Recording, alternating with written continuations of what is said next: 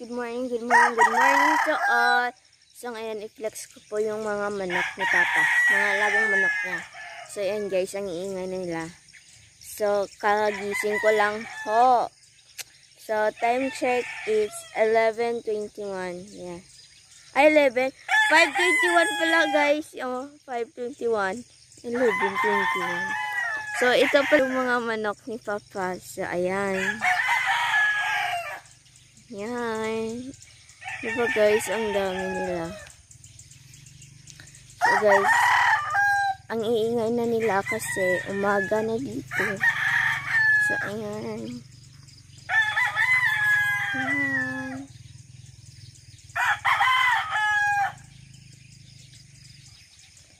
Diba guys, ang dami nila. So ayan guys. Hi, chicken, chicken, chicken. Good morning. So, ito guys. So, mga manok pala ni Papa guys ay ang babait nila. Ayan. Ayan. Ayan pa guys. May isa pa dun sa dulo. So, yan guys ay meron ng kamaisan. So, ayan. Ayan pa guys. Oh. Dami nila dito guys. Ayan. Okay.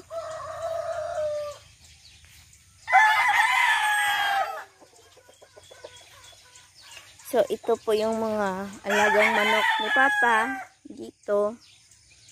So, ayan.